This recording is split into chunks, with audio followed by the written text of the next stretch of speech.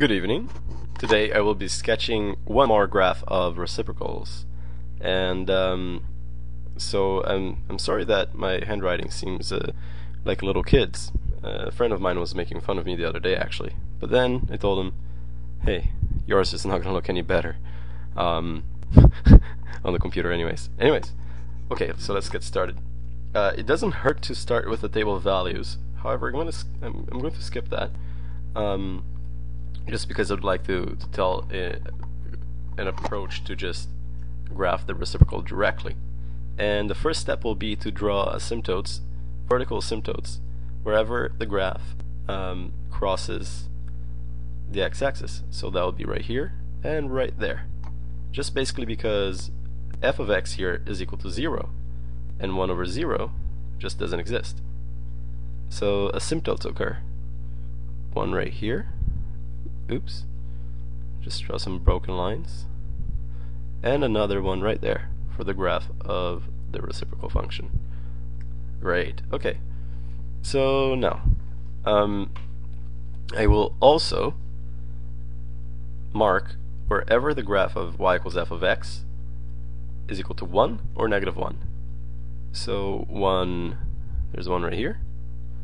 Another one right there. And for negative 1 I have one right here and another one right there. Excellent.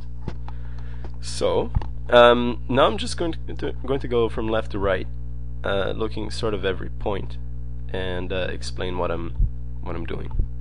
So f of x here is 4, 1 over 4 a quarter for the reciprocal, about here. Um, 3, y equals 3, 1 over 3 becomes a third. This is 2, 2 becomes half then we can already see it sort of taking shape right here.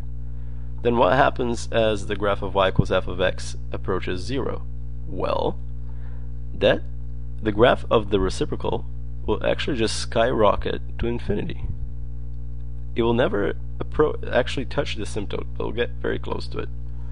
Um, this line looks a little bit crooked, but it should be a little bit smoother, in fact. Okay, what about here?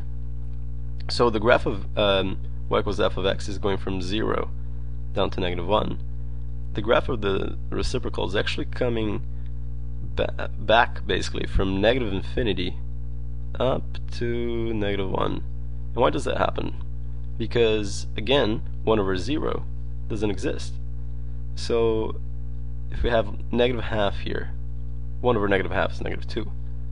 Negative a quarter, maybe here. 1 over negative a quarter is negative 4. And as we approach very tiny little values of, of 0, the graph is just going to skyrocket down to negative infinity. Okay, anyways. So this is negative 2. 1 over negative 2 becomes negative half. Um, then this will be negative 2, so negative half again. Negative 2, so negative half again. Negative half again. So it's just a little straight line here.